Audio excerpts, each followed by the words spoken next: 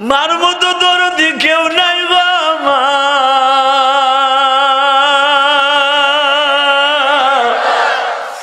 এই যে বড় বড় অফিসার হয় দেখো পুলিশ ভাইরা, বড় বড় এসআই হয়, বড় বড় ওসি হয়।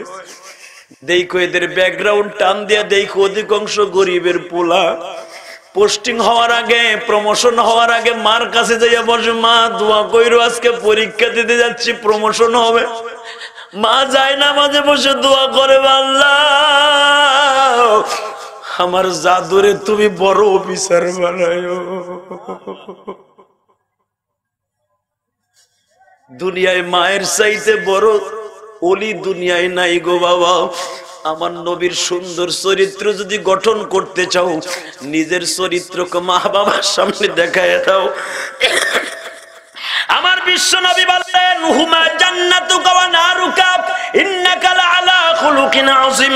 আমি নবী যেরকম মা বাবার খেদমত করতে বললাম, মা বাবার খেদমত যারা করবা, আল্লাহর জান্নাতের প্রথম ক্লাসে তোমরা থাকবা। বাজানরা আমি আপনাদের সামনে একটা ঘটনা বলেই বিদায় নিব। মা বাপরে কেন মারবা? মা বাপরে কেন বাদ দিবা না? মায়ের মতো দরদি এই জগতে হয় না। শীতের মৌসুমে দেখো, সবাই আরামে ঘুমায়। তোমার মা তোমার শীতানে বৈশাখ এই শীতের মধ্যে তুমি ঘুমাও, তোমার মা পায়খানা পুষ্পাবের বিছানা তোমার পায়খানা পুষ্পাবের খেতা বালিশ মা নামিয়া খালের মধ্যে পরিষ্কার করে, কথা ঠিক না বেঠে যুবক ভাইরা, আমি বলে দিয়ে যাই, মা বাপরে ভাত দিতে চাও না, এমন একদিন আসবে তোমার সন্তানও তোমারে ভাত দিবে না। যেদিন তুমি দুনিয়া ছাড়ার আগে হবে, বেঈমান হইয়া দুনিয়া ছাড়বা। সদর গানের একটা যুবক মায়ের জন্য দুইটা কাপড় কিনিয়া দুই জোড়া স্যান্ডেল কিনিয়ে বোনের জন্য সদরঘাটতে লঞ্চে উঠছে বাবা। শরিয়াতপুর সখীপুর বাড়ি ছিল। আমি মাঝে মাঝে ওয়াশটা করি। ইউটিউবের ভিতরে শুই না, তোমরা কানছো আজকে এখানে আসার পরে কয়েকটা যুবক পুরাধার থেকে আসছে। তারা আমার কাছে রিকোয়েস্ট করছে, হুজুর, আপনার এই ওয়াজ শুনে আমরা কানছি আপনি একটু প্র্যাকটিক্যাল ওয়াজটা করবেন। যুবক, ভালো করে বোঝার চেষ্টা করো। মা যে কত সন্তানের দরদি বুঝাই দিয়ে যায়। প্র্যাকটিক্যাল এই যুবকটা যখন মায়ের জন্য কাপড় কিনিয়ে, স্যান্ডেল কিনিয়ে লঞ্চে উঠছে, আজ থেকে তিন, চার বছর আগে সাতপুরের ঠোঁটায় একটা লঞ্চ ডুবছিল। তিনশোর উপরে যাত্রী লইয়া লঞ্চটা যখন ডুববে, পনেরো মিনিট আগে মার কাছে ফোন দিছে, মা মা গো মা গো চাঁদপুরের ঠোঁটায় আছি, নদীর ভিতরে জ্বর উঠে গেছে, মনে হয় লঞ্চটা ডুবে যাবে গো, মা। মা, তুমি আমারে মাফ করে দিও। যুবক রে, মা যে কত দরদি। ইলিয়াসুর রহমান জিহাদের বুকটা ফারিয়া দেখ তার মায়ের জন্য কত ব্যথা। দুনিয়ায় মায়ের দোয়া ছাড়া কেউ বড় অফিসার হতে পারে নাই, আল্লাহর অলি হতে পারে নাই। দুনিয়ায় যত সম্মানিত ব্যক্তি দেখো, অধিকাংশ মায়ের দোয়ার খাতিরে ভাইজান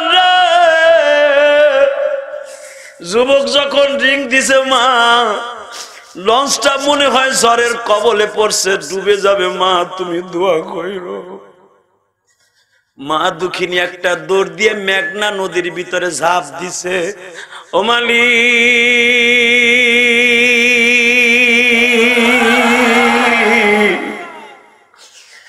আমার জাদু রিপন রে আমার কোলে ফিরে। তুমি যখন ঢাকায় চাকরি করে ট্রেনে উঠছো, শুনতে পাইছো আজকে ট্রেনে ট্রাকের সাথে সংঘর্ষ করে ট্রেন উল্টে গেছে। তোমার মা জানছে তুমি ওই ট্রেনে আছো, ওই বাসে আছো। সবাই বাবা, তোমার কানে খবর আসার আগে তোমার মা যাই না যায় ও মা যাই না।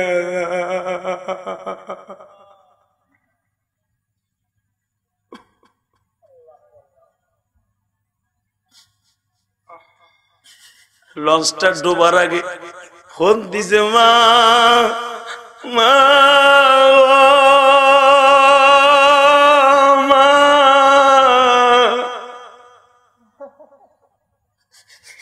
লঞ্চটা যদি ডুইবে যায় মা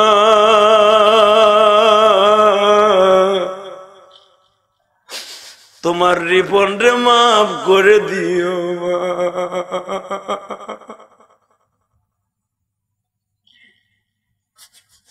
রিপনের মা মোবাইলটারে আসার দিয়ে ফেলাই দিয়া, একটা দৌড় দিয়া সাতপুরের ঠোঁটায় সখীপুর যদি যে থাকেন, আপনারা বুঝবেন ফেরির থেকে লাভ দিয়া মানুষদেরকে বলে, একবার বলো আমার জাদু করল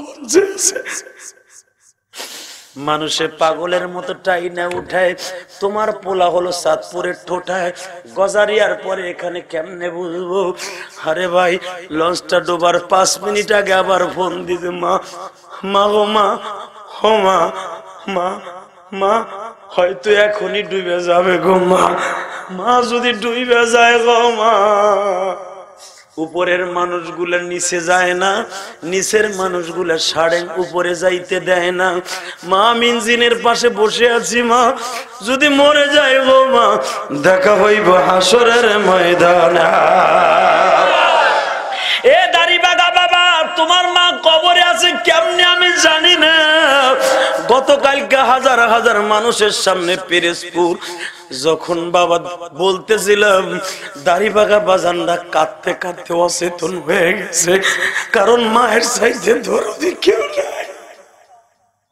এই রত্ন যারা হারায়া ফেলছ, আর কপাল পিটাইলেও পাইবা না।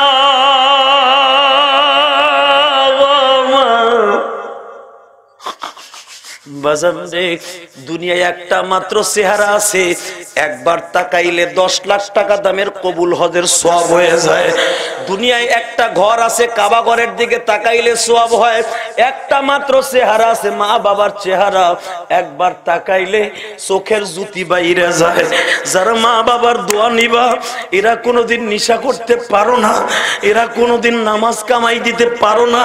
যারা মা বাবার অভিশপ্ত সন্তান তারাই আজকে নেশা করে বাবা, তারাই আজকে পথভ্রষ্ট হয়ে যায়। যুবক তোর পাও ধরছি, এখন কানবি ভাই, কানবি। এই রিবনের লঞ্চটা যখন ডুবিয়া গেল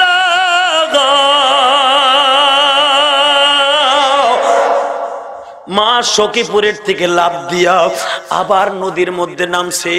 আমার র্যাব ভাইরা, পুলিশ ভাইরা, চার দিন পরে রিপনের লাশটা লয়ে সখীপুর আসছে।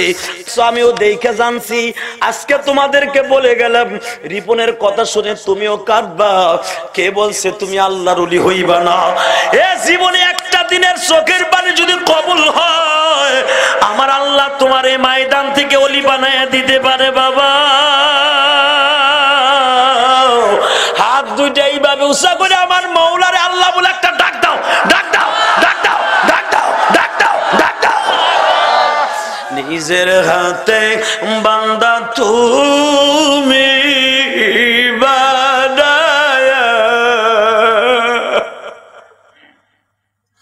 কেমনে দি কোন কাঁদবাও আমি জানি না আমার মতো কে মা হারাইয়া ফেলছ মা। কত কষ্ট মায়েরে দিছি, ওই মা কবরে কষ্ট পাবে আমার কারণে। এটা হতে পারে না গ।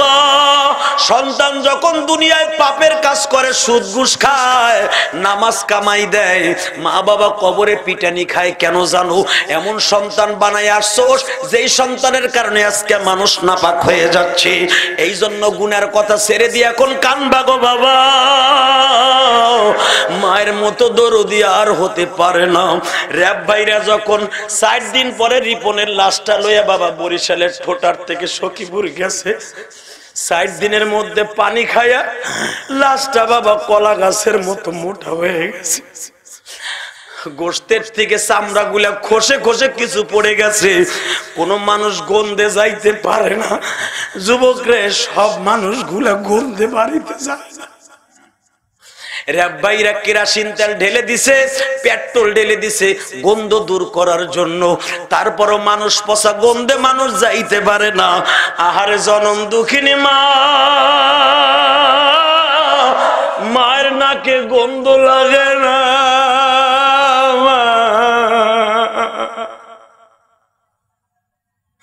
পচা লাস্টারে জড়ায় ধরে গামদার বাইরি বন্ডে।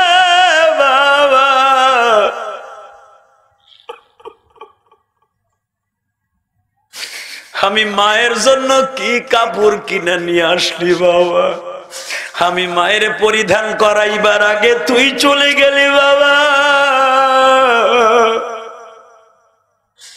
মা সন্তানের পচা লাশটা বুকিনে এমন ধরে শিক্ষার দিছে, মায়ের এই সাহারকটা ভারিয়া বাবা। মা চিরদিনের জন্য পাগল হয়ে গেছে। যুবকের সন্তানরে বুকি নিয়ে যদি মা পাগল হয়ে যায় ওই মায়ের কষ্ট দিস না।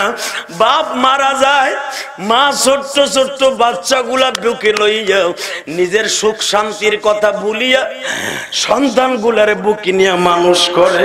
সেই সন্তান এ পাশ বিয়ে পাশ, মৌলানা হইয়া মায়ের বাদ দেয় না। যুবক, আমি তোর দুইটা পাও ধরে বলে যাই, মা বাপরে কষ্টের আইকে তুই বউ লই আরামে খাবি। তুই আসলে কানা কাজটা তুই জাহান নামের আগুন খাস বাপ, দশটা টাকা চাইলে টাকা দেশ না। তোর পোলা মাইয়ার পিছনে স্কুলের টিফিনের জন্য প্রতিদিন একশো টাকা দেশ বাপরে, দশটা টাকা চাইলে দেশ হালাকে তোর বাবা পরের জমিতে কামলা দিয়া তোর পরীক্ষার ফি দিছে।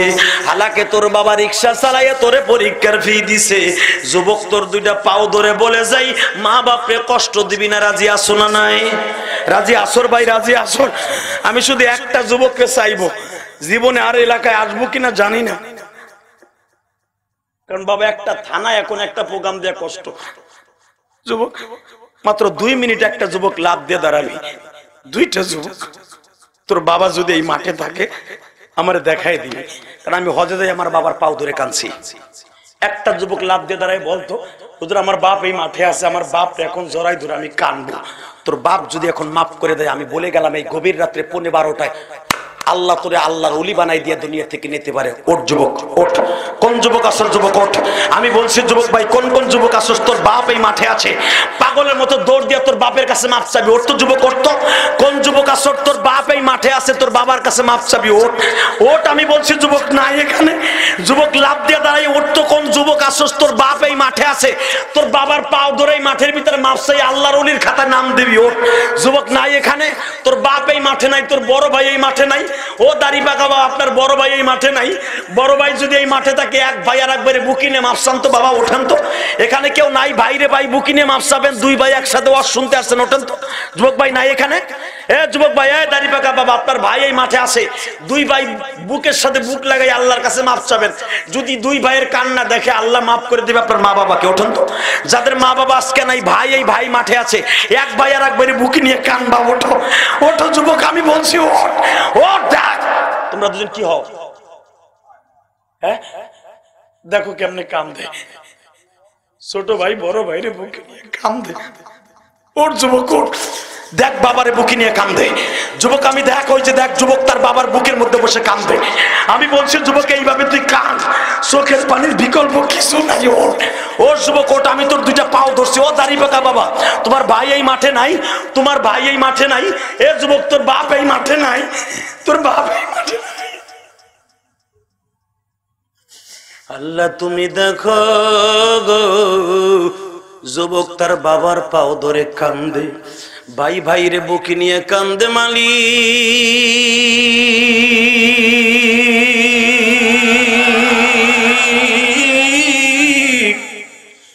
তুমি কেমনে মাপ না করে পারবা?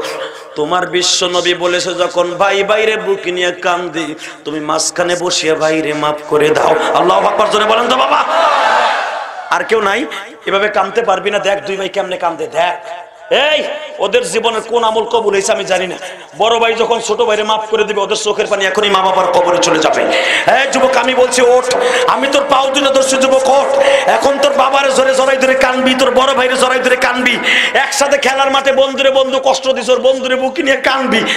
দেখো যুবক, কেমনে জড়াই ধরে কান্দে। ভাই বাইরে বুকি নিয়ে কান্দে আল্লাহ। ছোট ভাই সারা জীবন বড় ভাইয়ের কাছে ঋণী আল্লাহ। আল্লাহ এদেরকে তুমি মাফ করে দাও। জোরে কোন আমি আরও জোরে কোন আমি যারা তোর মতো এই নাই। তোর যেই যুবকটা বাবার জরে ধরে ওর ক্রেডিট কম না। দাড়ি পাকা বুড়া! তোমার চাইতে এই দুজনের ক্রেডিট কম না। যারা মাপ চাইলে না, তোমার মতো হতবাগার হতে পারে না। নামাজ, রোজা সব ঠিক আছে। কিন্তু তুমি মানুষের হক মাইরা কবরে গেছো, তোমার জন্য জান্নাত হারাম হারাম হারাম হারাম। অতএব আমি তিরিশ সেকেন্ড টাইম দিলাম। রসুল বলেছেন, এক মুসলমান আর এক মুসলমান বুকি নিয়ে মাফ চাইলে বলে আল্লাহ মাফ করে দিবে। তিরিশ সেকেন্ড টাইম দিলাম। আপনার পাশে কে আছে দেখার বিষয় না। এই, আপনার পাশে কোন গ্রামের ছেলে আছে জানেন আপনার স্বাস্থ্য ভাই, মামাতো ভাই, খালাতো ভাই, যে যারে পাবেন, পাশে দাঁড়ান ওঠেন। একজন আর একজনের বুকি নিয়ে কান্দে না ওঠো। তুমি যারে পাবা তারে জড়াই ধরো, যুবক, আমি বলছি তাড়াতাড়ি। হ্যাঁ যুবতী বোন, দেখো তোমার মা আছে কিনা? দেখো তোমার ভাবি আছে কিনা? দেখো তোমার শাশুড়ি আছে কিনা? একজন আর একজনের বুকি নিয়ে কাঁদবি, যুবক। হাসবি না হাসবি না। তুই যারে পাবি তারে বুকি নিয়ে কাঁদবি। এ দাড়ি বাঁধা মুসলমান, একজন মুসলমান আর একজনকে নিয়ে কাঁদবা, জোরে বল, আল্লাহু আকবার।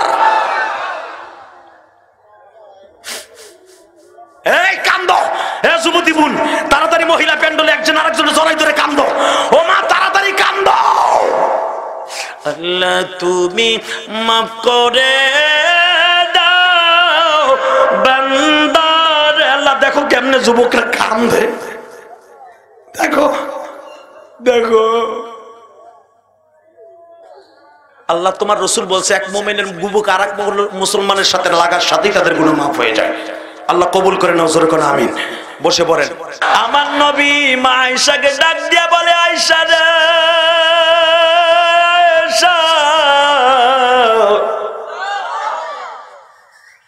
তোমার বয়স এখন আঠারো বছর, আমি তোমার ছয় বছর বয়সে বিয়ে করছি। তুমি নয় বছর বয়সে আমার ঘরে আসছো। আয়সা যেই বয়সে দুনিয়ার কোন মহিলা তিপ্পান্ন বছর পুরুষের সাথে বিয়ে বসে না। ও আয়সা বছরের বুড়ার সাথে ছয় বছরের মায়ের বিয়া বসলাম। আয়সা আমি তোমারে কি দিয়া দিতে পারি? মা আয়সা বলেন, আমি আপনার কাছে কিছুই চাই না। শুধু একটা জিনিস আমারে দিবেন গো আপনি জানো, আমার আগে ইন্তেকাল না করেন আল্লাহর একটু বুঝায় এখন আপনি আমার আগে যেন মৃত্যুবরণ না করেন। আপনি মরে গেলে আমি বাঁচবো না। আমার নবী বলে আয়সা রে, এই কথা তুমি ফেরত নাও গো আয়সা দুনিয়ায় আসার সিরিয়াল আছে, যাবার সিরিয়াল নাই গো আয়সা বাবার সামনে সন্তানের লাশ কাঁধে লয়ে যায় ছোট ভাইয়ের সামনে বড় ভাই কাশ লাদে লয়, বড় ভাই ছোট ভাইয়ের লাশ কাঁধে লয় গো আয়সা আয়সা তুমি এই কথা আমার কাছে বইলো না। যদি আর কিছু চাওয়ার থাকে লও। আয়সা বলে, হুজুর তলে একটা জিনিস আমারে দেন।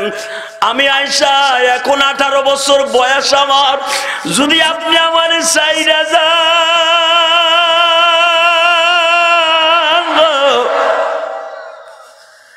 আপনি আমার ঘরের মধ্যে কবর নিবেন। নবী বলেন, কি জন্য তুমি তোমার ঘরে আমারে রাখতে চাও? হুজুর, আমি আপনার তৃপ্তি মিটাইয়া খেদমত করতে পারি নাই। আমি আয়সা ছোট ছিলাম, আপনার অনেক যন্ত্রণা দিয়েছি। বিবির হক আমি আদায় করতে পারি নাই। আপনার ইন্তেকালের পরে প্রতিদিন আমি আপনার সাথে এই রোজার পাশে বসিয়ে কথা বলব। আমার নবী বললেন আয়সা রে, ঠিক আছে, আমি ওয়াদা দিলাম। প্রতিদিন স্বপ্নের ভিতরে আমি তোমার কাছে বসে কথা বলব। ও আয়সা আর কিছু চাও কিনা? হুজুর, আমি আর একটা জিনিস চাই গো নবী। সেই জিনিসটা হলো আপনার কবরের পাশে আমি ঘুমাইতে চাই। আয়সা আমার পাশেই তো তোমার বাবা আবু বকরের জায়গা বরাদ্দ হয়ে গেছে। হুজুর তাহলে আমার বাবার পাশে আমি থাকব। আমার নবী বললেন, ঠিক আছে আয়সা তোমারে দিয়ে দিলাম। ওবা জানা কোন দিলটা নরম করে দিবেন। নবী দুনিয়ার থেকে যাওয়ার দশ বছর পরে হঠাৎ করে হজরত অমরকে বেঈমানরা নামাজের মধ্যে বল্লম মাগাইল। ওমর নামাজের ইমামতি করতেছিলেন, পিছনের থেকে বাবা এই সন্তারাসীরা। মনে মনে ভাইব ওমরের জামানার সন্তারাসী জিএমবি ছিল। এবার জিএমবি তো আমাদের দেশের সংখ্যা। জঙ্গি সংগঠন, ওমরের জামানার জঙ্গি সংগঠন ছিল। হালে খারিজিয়া নামে একটা সম্প্রদায়। রাফিজিয়া, খারিজিয়া, এই নাস্তিকগুলা সদা সর্বদাই মুসলমানের সাপোর্ট লাগাইয়া, দাড়ি টুপি লাগাইয়া মুসলমানকে মারত। আজকেও দেখবেন দাড়ি টুপি লাগাইয়া পেট্রোল বোমা মারে কথা বলেন না কেন? সারা পৃথিবীর সামনে মুসলমানকে কালারিং করার জন্য। আসলে তালাশ করে দেখো, যারা দাড়ি টুপি লাগাইয়া বোমাবাজি করে, একটাও মাদ্রাসায় পড়ে নাই। কথা বলে না কেন? বাংলাদেশের আলেমুলামাকে দাড়ি টুপিদেরকে, যারা আজকে ইহুদিদের সামনে জিএমবি সাজাবার জন্য যারা মুসলমানদেরকে এই রূপের বান্ধিত করেছে, আল্লাহর কাছে নালিশ দিবা, আল্লাহ তাদের এই জমিনে বিচার হক কাকে রাজি আছো? আল্লাহকে তুই হাত দেখায় দাও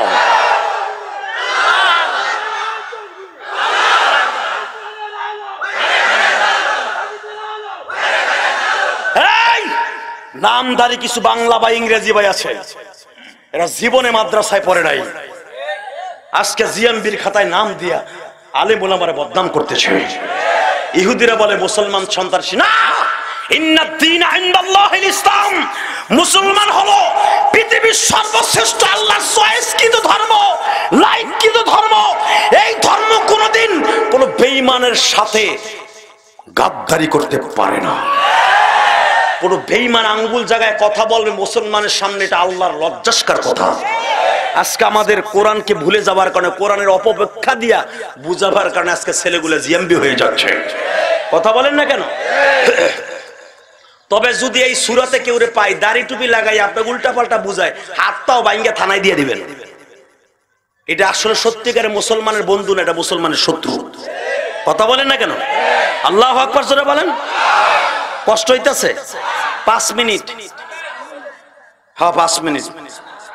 হ্যাঁ হ্যাঁ। কয় মিনিট? এক ঘণ্টা? সারা রাত বয়ে থাকবেন? সবাই বয়ে থাকবেন? আল্লাহকে হাত উঠাই দেখান তো কে কে থাকবেন না? আমি বলছি কে কে থাকবেন না সবাই উঠে হেলাইছে। ঠিকই আছে, আপনিও থাকবেন না, আমিও থাকব না। আর মাত্র দশ মিনিট কথা বলবে ইংসা ইংসা বাজান রে মায়েশা সিদ্দিকার জায়গাটা আমার নবী বরাদ্দ দিয়ে গেলেন। খামোশ। মায়েশা সিদ্দিকা রাদিয়াল্লাহু আনহার জায়গাটা আমার নবী বরাদ্দ করে দিয়ে গেছে। আয়েশা, তুমি আমার পাশে ঘুমাইবা। নামাজের মধ্যে মুনাফিকরা নামাজে ওমর ইমামতিতে দাঁড়াইছে বাবা। পিছনের থেকে এমন জোরে বল্লম মারছে। হযরত ওমরের নারী বুড়ি গুলা পেট দিয়ে বের হয়ে গেছে। নামাজের মধ্যে। ডাক দিছে ওমর, আমার পিছনের থেকে কে আক্রমণ করছে? এই ব্যক্তির ধরতে যাইও না। রসুলের রওজার পাশে বসে আমারে মারলো। আমার সাথে সৌভাগ্যবান আর কে আছে? তবে একটা কথা বলে দিয়ে যাই। তার ছেলে আবদুল্লাহকে বলে, আমারে কে মারলো? এই লোকটারে খোঁজার দরকার নাই, এই লোকটার বিচার আল্লাহ করব। তবে আবদুল্লাহ, শোন কি, এখন চিল্লা পাল্লার দরকার নাই, আমি একটু পরেই আমি চলে যাব আল্লাহর কাছে। যদি জীবনে ইন্না কালা আলা খুলুকিন আযীম, নবীর উৎকৃষ্টতম চরিত্রের একটা চরিত্র যদি আমার মধ্যে থাকে, এই চরিত্রটা উল্লেখ করে মা আয়েশার ঘরের কাছে যা। মারহাবা বলবেন না? বাজান, এখন দিলটা নরম করবেন। আব্দুল্লাহ বলে, বাবা গো, তোমার নারী বুড়িগুলা গামছা দিয়ে বাদ দিছি। নারী যতই বাদ দিতে চাই পেটের থেকে ঠেলে বের হয়ে যায়। বুখারির মধ্যে আসছে, দেখবেন অমরের মৃত্যুর কাহিনী আল্লামা শামসুল হক ফরিদপুরীর হাতে করা ছাত্র। আল্লামা জিদুল হক যে হলো সরমনায় আল্লাহর কুতুবের শিক্ষক। বুখারির মধ্যে লেখছে, ওমরকে দুধ খাওয়াইতেছে দুধগুলা পেট দিয়ে বাইর হয়ে যায়, বাবা। এমন ভাবে বল্লম দিয়ে আঘাত করছে নামাজের মধ্যে। ওমর এখন বিদায় নিয়ে যাবে, বিদায়ের আগে আবদুল্লাহ ডেকে ডেকে বলে আবদুল্লাহ রে কে আমারে মারছে? এটা দেখার বিষয় না। তুই আয়সার কাছে যাইয়া বলবি ইন্না কালা আলা খুলুকিন আযীম। শুধু একটা আয়াতের তাফসির করে গেলাম। নবীর চরিত্রের একটা চরিত্র যদি আমার মধ্যে থাকে আয়সার জায়গাটা যেন আমার একটু হাদিয়া দিয়ে দেয় আমার মনটা চায় আমি আমার নবীর জন্য দুনিয়ার সব কিছু পাল্টায় ফেলছি। আমি ওমরের মতো সিংহ মানুষ, সিংহ পুরুষ বদবিজাজি মানুষ আল্লাহ দুনিয়ায় মক্কায় আর বানাইছি কিনা জানি না। তবে আমি ওমর নবীর কাছে ইসলাম কবুল করার পরে যদি আমি এরকম হয়ে যাইতে পারি, আয়সাকে বুঝাইয়া বলবি যেন জায়গাটা আমারে দিয়ে দেয়। তাড়াতাড়ি সারে আব্দুল্লাহ। ওমরের সন্তান আব্দুল্লাহ খুব দ্রুত আয়সার ঘরের সামনে যায়। এতিমের মতো লাভ দিয়ে দাঁড়ায় বলে, ও উম্মুল মুমিনিন, মা আয়সা। মনে রাখেন, আয়সা কিন্তু দুনিয়ার ভাবে বোন হয়। ঠিক না বেটি কারণ মা আয়সা হইতেছে আমার নবী হলো ওমরের জামাই। কারণ ওমরের একটা মেয়ে হাফসাকে আমার নবী বিয়ে করছে। সেই হিসাবে আয়সাও তো হুজুরের বিবি, হাফসাও হুজুরের বিবি। ভাবি হয় না? বোন হয় না? বিয়ান সাহেব হয় না? দুনিয়ার নিয়মে। কিন্তু এখানে দেখেন, উম্মুল মুমিনিন আল্লাহ কোরআনে বললেন, এই জন্য দুনিয়ার কেউ তাদেরকে ভাবি সম্বোধন করতো না, সবাই মা বলতো। উম্মুল মুমিনিন মাইশা আব্দুল্লাহ আমি সবই শুনছি, কারণ তোমার বাবার বডিটা আমার দরজার কাছে পড়ে রয়েছে। তোমার বাবা আমার মুখ থেকে খুব দ্রুত শুনতে চায়। নবীর একটা চরিত্র ইন্নাকালা আলা খুলুকিনা উত্তম চরিত্রের যদি একটা চরিত্র থাকে, তার ওসিলা করে চাইছি, আমার জায়গাটা দিবেনি। তোর বাবা এটা চাওয়ার সাথে সাথে আমি নবীর রওজার কাছে দাঁড়াইছিলাম। দুরুজ শরীফ পরে যখন ধ্যান মগ্ন বসে গেলাম, আওয়াজ হইতেছে আয়সারে তুমি যদি তোমার জায়গাটা হাদিয়া দিয়ে দাও, আল্লাহ তোমার জান্নাত হাদিয়া দিয়ে দিব। আয়সা আমি নবী তো জায়গাটা তোমারে দিছি তুমি ভালোবাসি আমার খলিফাতুল ওমরকে দিয়ে দাও। আমার দুইটা শ্বশুর আমার পাশে ঘুমিয়ে থাকুক। আব্দুল্লাহ আমি উদারতার প্রমাণ দিয়ে গেলাম।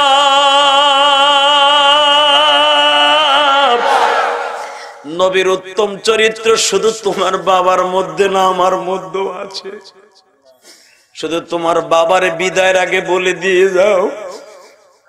তোমার বাবা যখন নবীর পায়ের কাছে ঘুমাবে আমার নবীরে যেন বুঝাইয়া বলে কারণ শহীদরা তো মরে না ولا تقولوا لمن يقتل في سبيل الله يموت بل احياء ولكن لا تشعرون আল্লাহ কোরআনে বলে শহীদরা মরে না দেশ রক্ষার্থে যারা মুক্তিযোদ্ধা মারা যাবে ইমান লয়া যদি মারা যায় আমি আল্লাহর কাছে আজীবন তারা জীবিত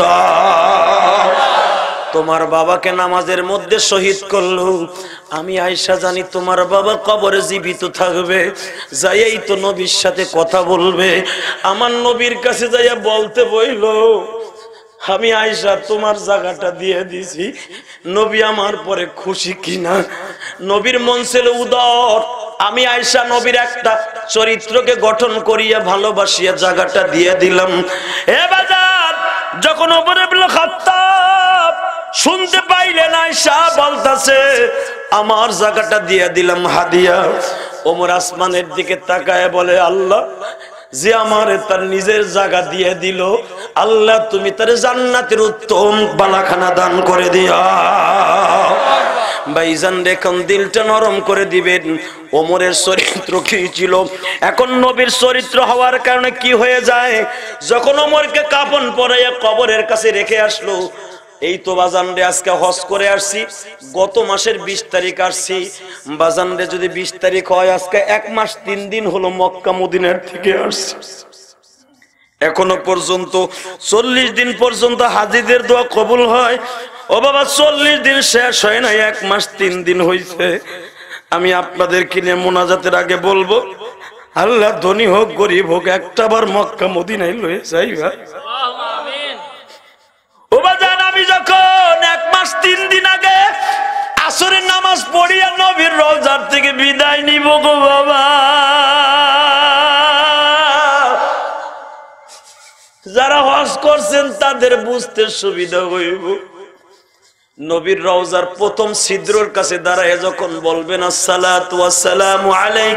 রাসূলুল্লাহ, আমার নবীর প্রথম পায়ের কাছে দাঁড়াইয়া সালাম দিচ্ছেন। দ্বিতীয়, আবু বকর ওমরের কাছে দাঁড়াইয়া সালাম দিলেন। তৃতীয় অমরের রওজার পাশে দাঁড়াইয়া সালাম দিলেন। বাবা, শেষ সালাম যেদিন দিয়ে আসব, আমি গুনাগার নবীর রওজার পাশে দাঁড়াইলাম। যে দরজা দিয়া জিব্রাইল মানুষের বেশে চল্লিশ বার নবীর সাথে কথা বলছে, যেই দরজা দিয়ে আমার বিশ্ব নবী বের হয়ে কবরস্থানে যাইতো, আমি গুনাগার ওই দরজার কাছে দাঁড়াইয়া হাত তুললাম।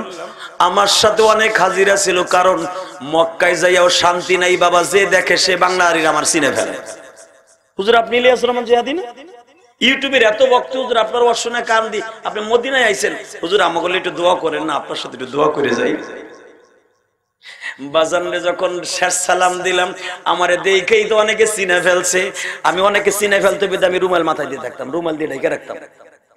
এ বাবা, আজকে যখন শেষ সালাম দিয়ে বের হব, অনেক হাজিরা জড়ো হয়ে গেল হুজুর। আপনি তো আজকে বাংলাদেশে চলে যাবেন, আমাদের জন্য একটু দোয়া করে যান। বাজান, আমি যখন শেষ সালাম দিয়ে হাতটা তুললাম, মনে পড়ে গেল হজরত অমরের কথা। ওমর যেদিন শহীদ হয়ে যাবে, নবীর রওজার পাশে দাঁড়ায় আখিরি সালাম দিয়া বলে, নবী গো আমি অমর যদি জীবনের একটা সুন্নাতকে পালন করে থাকি এরও সিলাই নবী আপনি আমার সুপারিশ করবেন। আমি আপনাদের জন্য দোয়া করে যাই, যাদের মধ্যে আমার নবীর সুন্নাত বিদ্যমান থাকবে ইন্নাকালা আলা খুলুকিন আয়াতটা থাকবে, আল্লাহ তাদেরকে বিশ্ব নবীর সাথে হাসর করে দিবা। যুবক ভাইরা, দুনিয়া থাকার জায়গা না, চলে যাইতেই হবে। হজরত যখন কবরের পাশে শোয়াইবার আগে ওমর বলেছিলেন ইন্তেকালের আগে আমার দাফন কাফন করার আগে বিশ্ব নবীর রওজার পাশে যেয়ে জিজ্ঞেস করবি, হুজুর, আপনার পাশে ওমরের ঘুমাইবার অনুমতি আছে যদি আমার নবীর রওজা থেকে আওয়াজ আসে, তাইলে আমার শোয়াবি তা না হলে জান্নাতুল বাকি কবরস্থানে শোয়াই দিবি। যদিও আয়সা আমার জায়গা দান করছে, বুঝবি নবীর চরিত্র আমার ভিতরে নবী সন্তুষ্ট ছিল না। অতএব নবী যদি আমার পরে সন্তুষ্ট থাকে, নবীর কবর থেকে আওয়াজ আসবে, এটা আমার বিশ্বাস। আপনাদের জানা আছে, লম্বা চৌরা হাদিস হজরত অমরকে যখন দাফন করার আগে নবীর রওজার পাশে যাইয়া উসমান গনির মতো জলিল কদর সাহাবি, সাহাবিরা সালাম দিলে নবী স্পষ্ট সালামের উত্তর দিতেন। কারণ এটা তো আপনার আমার কান্না, নবীর সালামের উত্তর শুনব। সাহাবা একরামের মতো অলি পৃথিবীতে আছে। যখন নবীর রওজার পাশে দাঁড়ায় জিজ্ঞাস করলেন, নবী গো, আপনার ওমর আপনার পাশে ঘুমাইতে চায় পারমিশন আসেনি। রওজা থেকে আওয়াজ আসতেছে, ও সাবিরা যে ওমর তার জীবনটাকে পাল্টাইয়া ফেলল কোরআনের পবিত্র জিনিস দিয়া। আমি নবীর সুন্নাত দিয়া, চরিত্র দিয়া যার জীবনটাকে গঠন করল, আমি নবী তারে কেমনে বলে থাকি গো? আমার ওমরকে বলে দে, আমার পাশে ঘুমাইতে কোনো দ্বিধাবোধ না কেন কথা বলে গেলাম? তোমার মধ্যে যদি নবীর চরিত্র থাকে ওমর নবীর রওজার পাশে ঘুমাইয়া নবীর সাথে কথা বলে, তুমি যদি ওই মিরপুর থানায় ঘুমাও, যদি নবীর চরিত্র তোমার মধ্যে থাকে, নবীর সাথে এখানে বসেও রওজার সাথে কথা বলতে পারবা। যখন তোমার দাফন পাড়াইয়া কবরে রেখে আসবে। এই যখন আসবে আসবে 100% মনে রাখো নবীর যদি তুমি থাকো, নবীর সাথে সাথে যোগাযোগ হয়ে যাবে। নবীর সূরাত গঠন করার নিয়ত আছে না নাই? জোরে বলেন না কেন? এক নাম্বার নবীর চরিত্র ছিল, কোনদিন আমার নবী মা বাবার বিরুদ্ধে ওয়াজ করছে। জোরে কর আরও জোরে। আরও জোরে। করছে তাহলে আজকে যুবক মা বাপরে ভাত দেয় না কেন? যুবক ভাই, আমার সাথে ওয়াদা দিবি? কোনোদিন মা বাপরে কষ্ট দিবি না? হাত দুইটা উঠে দেখাতো ভাই। এ দাড়ি পাকা বাবা আপনাদের মা নাই আমি জানি। তারপরও হাত দুইটা আমার মৌলারে দেখাই দেন। আল্লাহ আকবর জোরে বলেন তো দেখি। আল্লাহ আকবর জোরে বলছো আমি মুসাফির অবস্থায় ওয়াদা করে গেলাম। তুই যদি তোর মায়ের ভালোবাসোস আমি তোরে থুয়ে জান্নাতে যাব না। না মা। ওয়াদা দিলে তো? সারা জীবন মা বাপের ভালোবাসবা তো? আর পাঁচটা মিনিট আমার দিকে তাকায় থাকেন জমিনের মালিককে। আরও জোরে বলেন। তোমার নামাজ রোজা সব ঠিক আছে তোমার মা বাবার বর দেওয়া তোমার অ্যাকাউন্টে জমা আছে। আমি আল্লাহর কোরআনকে সাক্ষী রেখে বললাম। আল্লাহর কোরআনকে সাক্ষী রেখে বললাম। তুমি যতবার আলেম হওয়ার হাজি হও মা বাপদের বর দোয়া যদি তোমার অ্যাকাউন্টে থাকে তোমার দোয়া আসমানে যাবে না যাবে না যাবে না যাবে না। কথা বলেন না কেন? এ যুবক, মা বাবার বর দোয়া যদি অ্যাকাউন্টে থাকে, রসুলের যুগে থাকার পরও তার দোয়া আসমানে যায় নাই। হুজুরের প্রিয় সাহাবি বত্রিশ বছরের পোলা আলকামা বত্রিশ বছর। আঠাইশ বছর বয়সে কালেমা পড়ছে। চার বছর নবীর সান্নিধ্য লাভ করার পরে হঠাৎ করে বদরের যুদ্ধ হুদির যুদ্ধের পরে আলকামার ক্যান্সার হয়ে গেছে। খালি বাবনি ক্যান্সার, এই যুগে আছে, ওই যুগে ছিল না। ওই যুগেও ছিল, মেয়ে, ডায়াবেটিসও ছিল, সব রোগ ছিল, কিন্তু নাম জানতো না। আগে মানুষ বললে, ওটা কেমনে মরছে, কয় হাত ফিল করে মরছে। বলতো কিনা? আর এখন ওইটা সাইজ করে কয় কথা কন না কেন? এ ভাই কেমনে কয় হাড়ে যে হাত ফিল করে মারা গেছে রৌদ্রের কারণে। আরে রৌদ্র না ওইটা স্ট্রোক করছে। কথা কন না কেন? এটার সাইজ হয়েছে আগে মানুষ কইতো কি কি হয়েছে কয় পের মুহা হয়েছে খালি ঘন ঘন মুতে।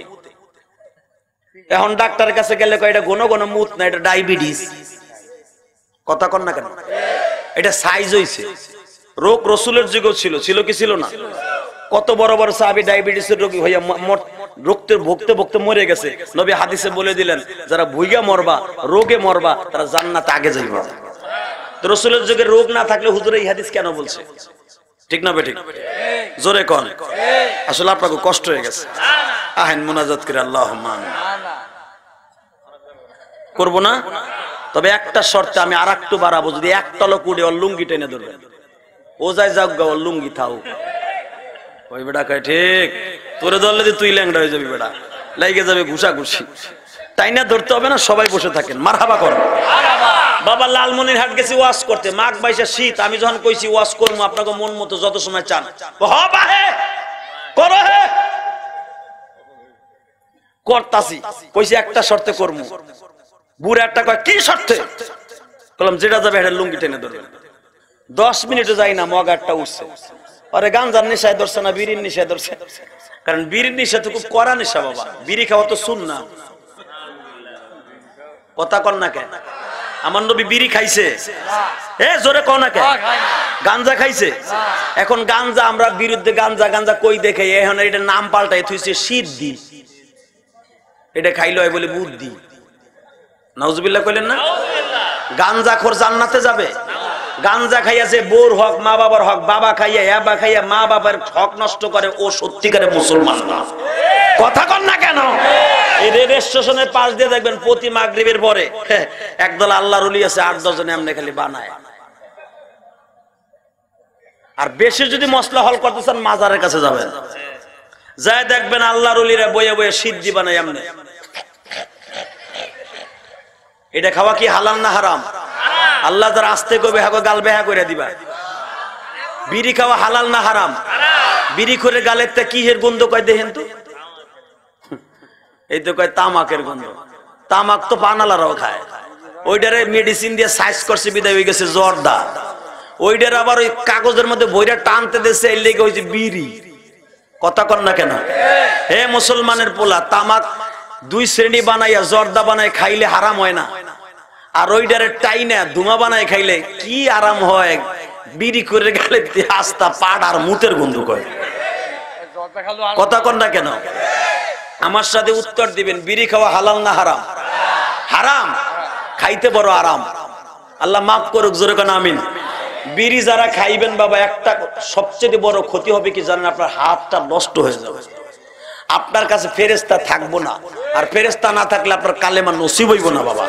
অতএব এইটা খাওয়া বাদ দেন। আমি বলব না আপনি একসাথে বাদ দেন আস্তে আস্তে বাদ দেন জোরে কোন মার আল্লাহ কবুল করুক। বিড়িখোর নিশাখোর দেখবেন মা বাপরে ধরে মারে। মারে কি মারে না? নিশার টাকা দিলে মায়েরে খুন করে বাবারে খুন করে বাবার টাকা পকেটের টাকা নিশা করার জন্য চুরি করতে করতে সে একদিন বড় টুন্ডা বাবুল কালা মাসুদ হয় কালা জাহাঙ্গীর হয় বড় গুন্ডা হয় পুলিশ বাইরেইতেও পারে না, কিছু কইতেও পারে না। আবার বড় লিডার হলে এক এমপির আন্ডারে চলে যায়। সে তখন হয়ে যায় অলরাউন্ডার হালাকে ওরে ঘুষে কালা জাহাঙ্গীর আমি দেখছি ইন্ডিয়ায় এক ঘুষি দিলে একটা পুলিশে যদি ওরা তলবেটা একটা ঘুষি দেয়, আমার দেশের পুলিশ, ও তিন দিন লাটিমের মতো ঘুরবো। গাঞ্জা খাইতে খাইতে কালা জাহাঙ্গীরের চোহের মধ্যে এত বড় পদ হয়ে গেছে। হেইডার নাম শুনলে অলরাউন্ডার বিশ্বাস করেন প্রশাসন শুদ্ধ কাফে ওই দেশে বসে এই দেশে লাটিম ঘুরায়। টুন্ডা বাবুল এলাকায় মুরগি চুরি কইরা মানুষ হাত বাইরে ভাঙ্গে থুয়ে দিছে। হে ঢাকা যাইয়া বড় মস্তন হয়েছে টুন্ডা বাবুল। এক হাত নাই হে কত বড় অলরাউন্ডার আপনি কল্পনা করতে পারবেন না। সে বত্রিশ তলার উপরে বৈশা বলে দেয় "এই, অমুকরে ফাইনাল কর। তিন মিনিটে ফাইনাল হালাকে আর এইটা নাই। ও চালাইতে পারে না আর একজন দিয়ে চালায় এখন বড় অলরাউন্ডার নজবিল্লা বলে না কেন? পুলিশ ভাইদের হাতের নাগার দিয়ে ঘরে কিছু করতে পারে না, তার মামা, মামার খুঁড়ে জোর। মনে রাখো বাবা, যা কিছু করো, কে দেখতেছি? যে যে জিনিস নিয়ে ঘুরবা, তার মরণ সেইভাবেই হবে। এই যে করস পায়রে পুলিশে যে কুত্তার মতো মাইরে ফেলাই এত আর্মি বাইরা কেন ফেলাই এত? এরকম অনেক মায়ের মতো ফেলাইছে। তবে ভাই যেন আমার কথার উত্তর দিবেন। এই জমিনের মালিক যিনি, আল্লাহ সব দেখতে আছেন। যুবক ভাইরা, যার সাথে মা বাবার দোয়া থাকবে, এই মানুষটারে কোরস ফায়ার দিলেও মরবে না। আমি ইলিয়াসুর রহমান জেহাদি, মা বারো বছর বয়সে হারাইছি। যুবক ভাই, মায়ের কষ্ট বুকি নিয়ে বড় হইছি। গোপালগঞ্জের জমিনে আমার মা ঘুমাই রইছে। বারো বছর বয়সে যখন আমি মা হারাই, আমার মা জীবনের শেষ কথা বলল, ইলিয়াস রে, তুই যদি আলেম হস গো বাবা, আমি মা তোরে দুধের দাবি ছাইরা দিব আমি মা তোরে মাফ করে দিব তুই আমারে একটা ওয়াদা দে, তুই জীবনে কোনোদিন মাদ্রাসা ছাড়িস না। ও ভাইজান আমার ক্লাস ফ্রেন্ড ছিল, বাংলাদেশের চিত্র জগতের রোমান্টিক নায়ক সাকিব খান। কারণ আমরা একই বংশের সন্তান, একই স্কুলের ছাত্র। এ ভাইরা, আমার মা জানতো সঙ্গ দোষেও নষ্ট হয়ে যাবে। আমার জনম দুঃখিনী মা আমার সাথে ওয়াদা করাইতেছি ইলিয়াস রে বাবা। তুই যদি আলেম হস গো বাবা, আমি মা তোরে দুধের দাবি চাইরে দিব।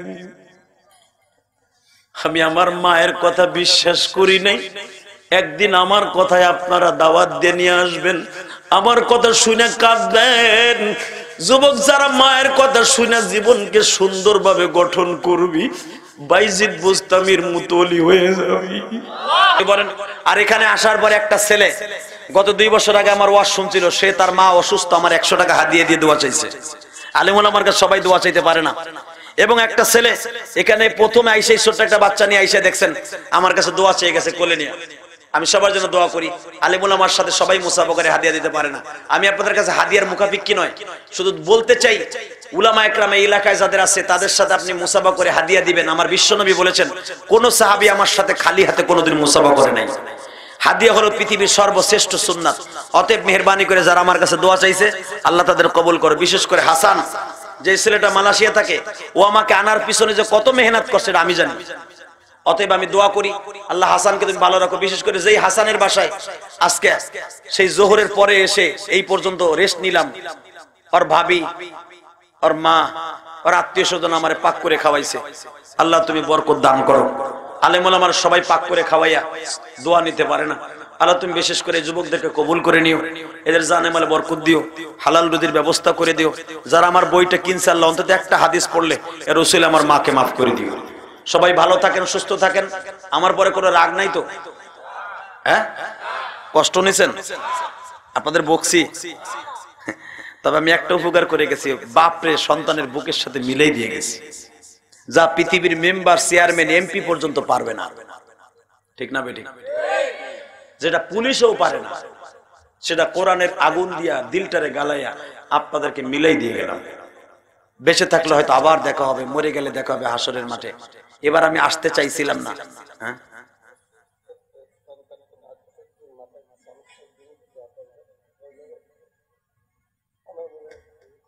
আমিন। আল্লাহর এক বান্দা আমাকে হাদিয়া দিয়ে দেওয়া চাই তার সন্তান মাদ্রাসায় পড়ে। আল্লাহ তুমি তার সন্তানকে কবুল করো। আমার সাথে বড় আলেম বানাই দিও। জোরে কোন আমিন। জোরে কোন আমিন। আমি মাহফিলকে আল্লাহর কাছে রেখে গেলাম। আল্লাহ আগামীকালকে যিনি আসবেন, ওনাকে সহি সালামতে ময়দানে পৌঁছাই দেব।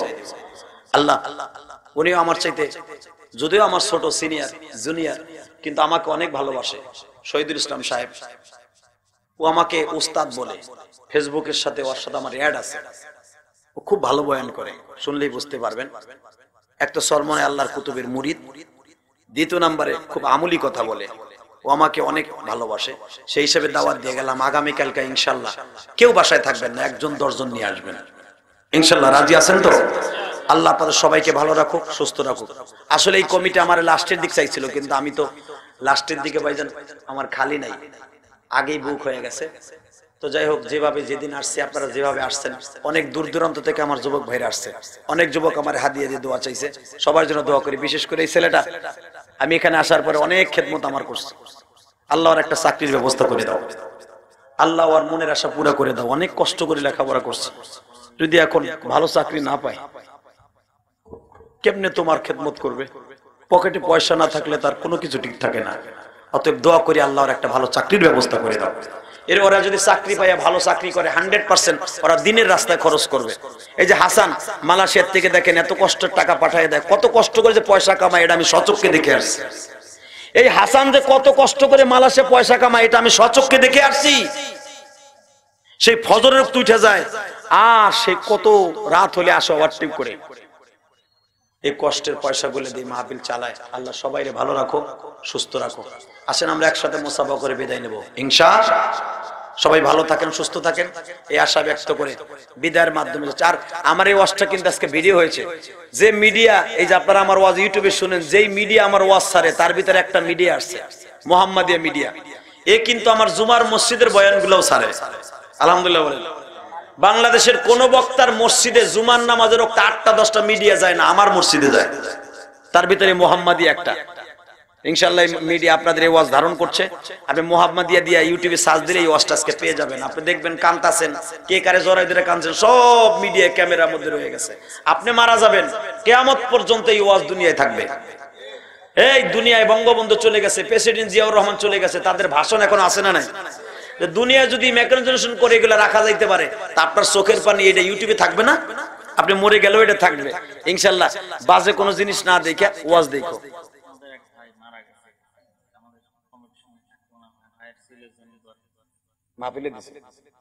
আল্লাহ তুমি কবুল করো জোরে কোন আমিন একটা ছেলে একশো টাকা দিয়া তার ভাইয়ের জন্য দোয়া চাইছে আল্লাহ তুমি সবাই মাফ করো সবাই ভালো থাকেন সুস্থ থাকেন কোন কথা আছে মনাজত করে দেবো না কেউ কথা বলবো তাড়াতাড়ি বলেন আল্লাহুম্মা আমিন ربنا ظلمنا انفسنا وان لم تغفر لنا وترحمنا لنكونن من الخاسرين اللهم اغفر لنا ولوالدينا রব্বির হামহুমা কামা রব্বায়ানি সগীর। জমিনের মালিক রে,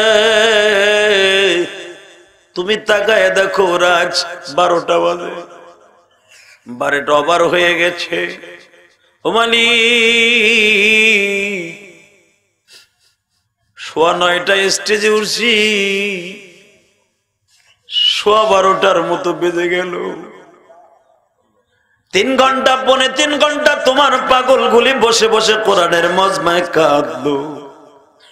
তোমার নবীর চরিত্রের আয়াত শুনিয়ে কত আল্লাহ আকবার বলে, আল্লাহ, বাপ সন্তান রে, বুকি নিয়ে কাঁদলো, ভাই ভাই রে, বুকি নিয়ে কাঁদলো।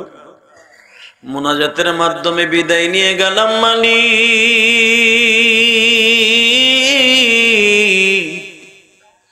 আমার প্রশাসনের বাইরেই তিন ঘণ্টা পর্যন্ত বসে রইল।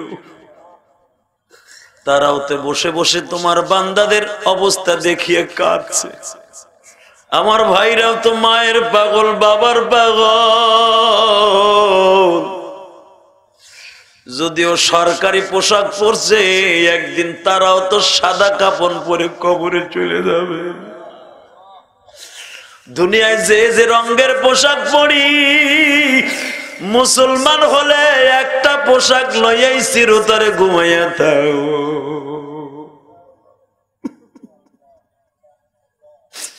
কারও পোশাক পাঞ্জাবির পোশাক, কারও পোশাক খাকি পোশাক, কারও পোশাক বিভিন্ন রং বেরঙ্গের পোশাক।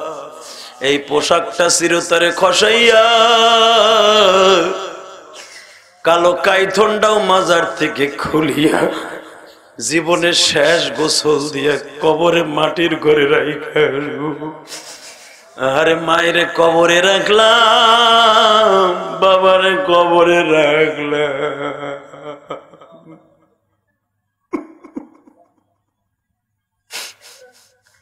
রবুল তুমি তাকায় দেখা।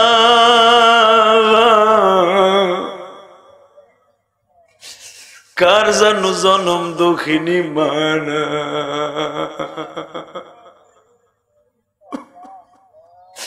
আমার মতো কে জানো মা বলে ডাকতে পারে না মালিক? হস করে আসলাম, বাসায় যাইয়া কত মানুষ আমারে দেখতে আসলো। আমার মা তো দেখতে আসলো না। এমনি করে কত ভাই আছে, বাসায় যাই মা বলে ডাক দিতে পারে না। মেহরবানি করে আমার ভাইদের মাকে মাফ করে দাও গো আল্লাহ, কবরটা জান্নাতের বাগান বানিয়ে দাও। আল্লাহ মাসের এগারো তারিখ যে অ্যাক্সিডেন্ট করছিলাম, হয়তো কবরে চলে যাইতাম। হয়তো তোমার পাগলদেরকে আমার সিলাই কাদা ভাবিলাই এখনও বাসায় রাখছো। আল্লাহ মাহফিলে বসে যারা কাঁদছে, তাদের মাফ করে দাও। তাদের বাবা মাকে মাফ করে দাও। তাদের কবরগুলা জান্নাতের বাগান বানিয়ে দাও। আল্লাহ, খাস করে যেই হাসানের বাসায় খাইছি যে হাসান আমার আনার জন্য এত কষ্ট করছে মালিক। ও মায়ের পাগল, বাবার পাগল আমি জানি। মেহরবানি করে ওকে তুমি মাফ করে দিও। বিদেশের বাড়ি ভালো রাখো খাস করে যে যুবক গুলাই মাহফিলের জন্য জান ফেদা করছে। আমি জানি এই যুবক কমিটি অনেক কষ্ট করছে মাহফিলকে সুন্দর করার জন্য। তার মধ্যে ডাইন পাশে একটা যুবক বসে আছে। আমারে বলে, হুজুর, লেখাপড়া করছি, ভাই ভাও দিছি, চাকরি হয় না। আল্লাহ আর একটা সুন্দর চাকরির ব্যবস্থা করে দাও। আর মা বাবার মুখ উজ্জ্বল করার তৌফিক দিয়ে দাও। তোমার নবীর সুন্নাতগুলা মুখে আছে রসিলের একটা ভালো ব্যবস্থা করে দাও। আল্লাহ, আরও যারা দোয়া চাইছে সকলকে কবুল করো। তোমার এক বান্দা তার সন্তানের জন্য হাদিয়ে দিয়ে দোয়া চাইছে, কবুল করে নাও। আরও কত যুবক রুমের মধ্যে দোয়া চেয়ে আসছে, কবুল করো। অনেক দূর দূরান্ত থেকে আমার ভাইরা আসছে, তাদের সবাইকে কবুল করো। আমার মা বোনরা আল্লাহ চাতক পাখির মতো মাইকের আওয়াজের দিকে তাকিয়ে আছে। আমার মা বোনদেরকে কবুল করো। আল্লাহ স্বামী খেদমত করার তৌফিক দাও। শাশুড়ির খেদমত করার তৌফিক দাও। ছেলে সন্তানগুলাকে নেককার বানিয়ে দাও। আল্লাহ আমার মা বোনদেরকে মা ফাতেমার সাথে হাসর করে দিও। আমার মা বোনদের পর্দা নিশি বানিয়ে দাও। তাদের গর্ব থেকে যে সন্তান আসবে, উমর আব্দুল খাত্তাবের মতো বানিয়ে রসুলের চরিত্র নিয়ে কথা বলেছি, আল্লাহ একটা তাফসির করেছি। মেহরবানি করে আমাদের রসুলের একটা চরিত্র আমাদের ভিতরে গঠন করার তৌফিক দিয়ে দাও। পাঁচ নামাজি বানিয়ে দাও। নিশা মুক্ত সমাজকে গঠন করার তৌফিক দাও। সুদ মুক্ত সমাজকে গঠন করো। জাকাতওয়ালা জিন্দিগি গঠন করার তৌফিক দাও। আল্লাহ আমাদের দেশটা সত্য দেশ, এই দেশের বলে আল্লাহ রহমত বর্ষিত করো, খাস রহমত বর্ষিত করো। আল্লাহ আমাদের দেশটাকে সুন্দর করে দাও, হিংসা মারামারি, হিংসা বগসকে কেনাকে দূর করে দাও। মালাকুল মজ্জেদিন পাঠাইবা, এই জবান থেকে জারি করে দিবালা ইলাহা ইল্লাল্লাহু। টাকাগুলো নাও।